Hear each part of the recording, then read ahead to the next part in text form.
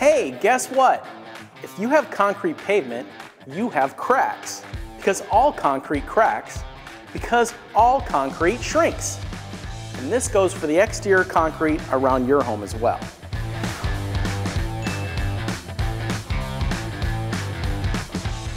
If things are done right, then these cracks will occur in the joints of the concrete.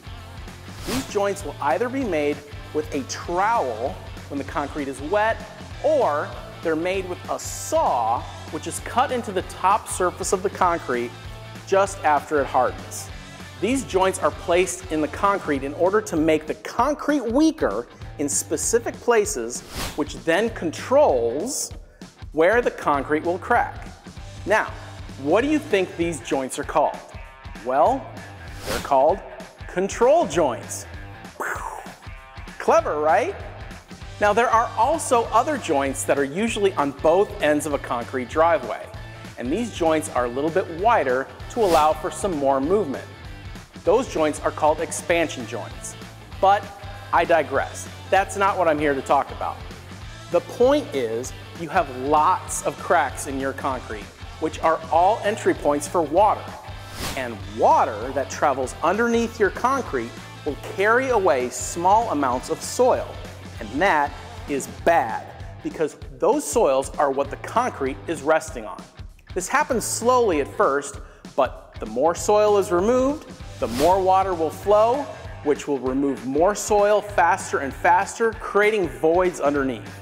Eventually, with less soil supporting it, the concrete will sink and even snap into smaller pieces, creating more cracks, etc., etc. We've now just created a vicious cycle. The best way to prolong the life of your concrete is to limit the amount of water that can find its way underneath. So, is it a good idea to seal all those cracks and joints? Yes, absolutely yes. It's also important to do it the right way. Concrete pavement will always be moving, so you need a material that is both tough and flexible.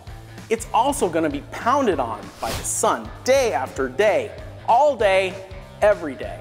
So it needs to be a quality material that will maintain its flexibility, its bond, and its color over time. And hey, when it's done right, Sealed joints and cracks also have a nice clean look. Now, if you want help finding the right professional to seal your joints, we'll leave you a link below. If you want to know more, you can come over to our page and watch more of our videos. Also, go ahead and smash that like button, drop a comment, subscribe, do all those great things. Let us know what else you'd like to learn about. So thanks for being here. This is Ask Engineer. I'm Kyle, and I'm out. See you later.